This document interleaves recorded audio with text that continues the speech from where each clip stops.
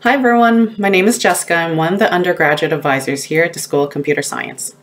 Since we can't physically welcome you on campus like usual and have you swing by our undergraduate advising office, I want to give you a tour of our website to help you orient to some of the online resources available to, that will eventually help you in your academic journey with us. Chances are the content of our website will likely answer about 90% of the questions you may ask us. Of course, if you have any questions or concerns, you can always contact us. If you go to the current undergraduate student webpage here at the School of Computer Science, this page has been designed for all math students. Certainly, as CS major students, you'll be able to benefit from exploring the site as well. So we have click links here for academic advising, FAQs, and campus wellness. If you're ever in need of academic support, we're always here for you as academic advising, and we'll go into this webpage in a little bit more detail in a bit. If you ever find yourself struggling with a course, then click on this link and it'll guide you to where you can find your instructional support assistant, your IAs, or your TAs. And again, we have a section here for FAQs. If you're ever looking for opportunities for research, um, enrichment, and other rewards, then you may go ahead and also click on this link here. This section here offers um, or displays all the programs we offer here at the School of Computer Science. For CS major students in particular, we'll be going through this in a little bit more detail later in the video. We have official um, policies and forms um, that live at the university undergraduate calendar available here for you to explore as well. As first year math students, you'll certainly benefit by exploring other resources available here at the Faculty of Math. As UWaterloo students, you'll also benefit from other campus supports available at UWaterloo, notably accessibilities, co-op, and also counseling services. When you go to our academic advising page, the site guides you through everything we can help you as academic advisors.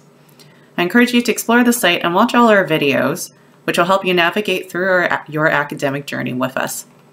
At the bottom of, the, of this page are quick links to frequently asked questions you may ask us. Generally speaking, if you have any questions relating to advising, you can always contact us at csadvisor at cs.uwaterloo.ca. If you feel like you have a question that an email isn't really able to articulate, then feel free to also contact us or meet with us during our daily virtual office hours. Please follow the instructions here as to how you can meet us and get a ticket in line. Welcome to the BCS and BMathCS site. We think that you should spend some time exploring the site as there are valuable information here on how you can plan your academic journey with us. There are quick links here to the major sections of this site that will help you navigate quickly through this page.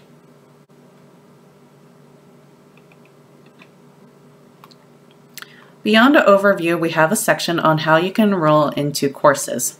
Please take a moment to visit the site on course selection and enrolling into CS courses during the add drop period, since you, under, you understanding how CS functions can have a major impact on uh, you being able to enroll into future courses. In the section for what courses you should take and when, You'll find this section to be very helpful when it comes to planning the courses you need to take in the following terms or in future terms. If you click here on the suggested course sequence, it'll take you to this page.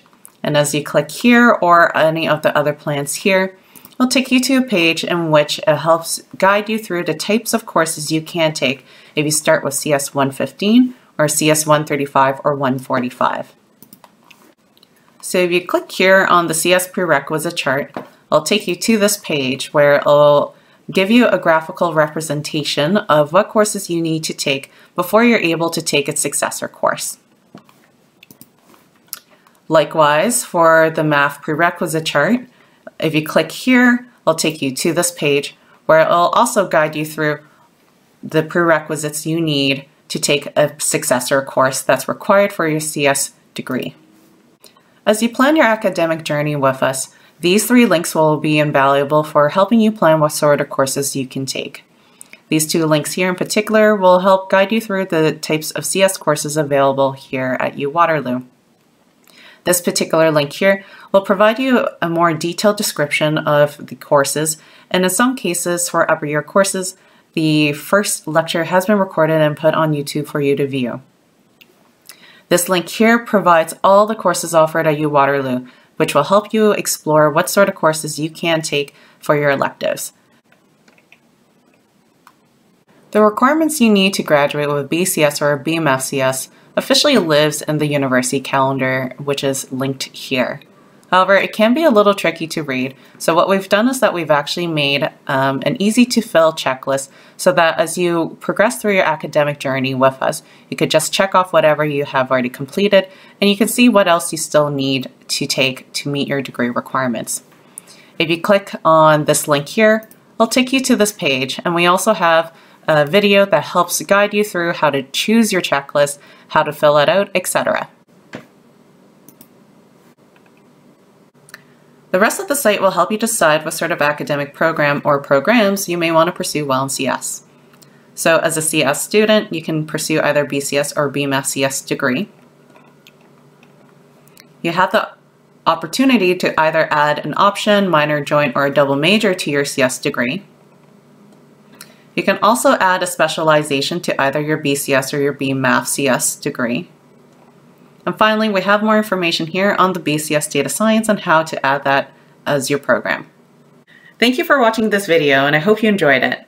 I would strongly encourage you to explore the rest of our CS undergraduate site and our other videos as we know that these resources will better help you plan your degree. Of course, if you have any questions about course selection, course enrollment, course planning, and the other programs here at CS, then certainly contact us. If you just want to talk, then feel free to email us or grab a ticket to see us during our office hours. Thank you.